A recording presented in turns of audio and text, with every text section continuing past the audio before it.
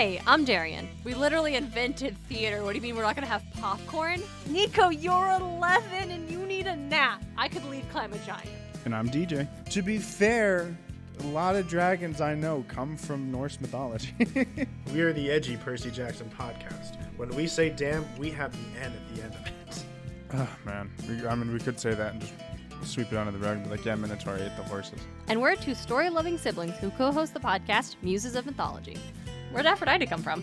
Well, she rose from the ocean from Seafoam, Yep. from parts of Uranos. Uh, uh, Say it again? Ur- Uranos. Say it one more time. Uranos. Interesting.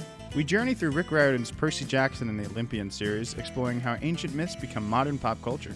Along the way, we examine what makes a story timeless, how myths and archetypes impact our world today, and why DJ is still playing Smite after 10 years. It's a sunk cost fallacy. I can't stop now. If you like Percy Jackson, classical mythology, or hyper analyzing comic book movies, you'll love our show. New episodes release every other Tuesday.